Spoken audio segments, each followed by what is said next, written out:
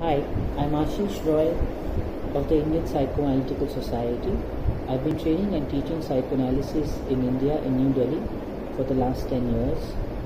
Um, my orientation in psychoanalysis comes from working within the clinic, in a private practice, in a community clinic in the university, and also teaching psychoanalysis to postgraduate and MPhil students, along with supervising research work in psychoanalysis.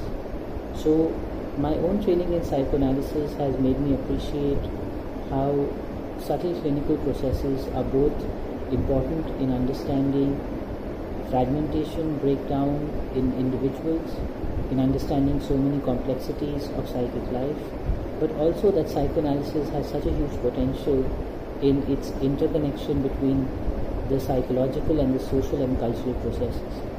And so my orientation to psychoanalysis comes from thinkers such as Winnicott, Andre Green, Melanie Klein, Bion, and also cultural psychologists such as Sudhir Kakar who have written so much in the Indian context.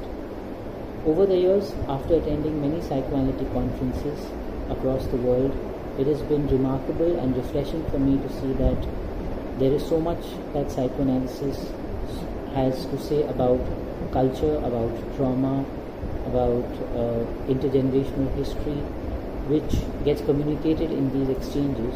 And that is something that I would like to further and strengthen as the IPSO editor elect more communication between these different groups, between different cultures of psychoanalysis.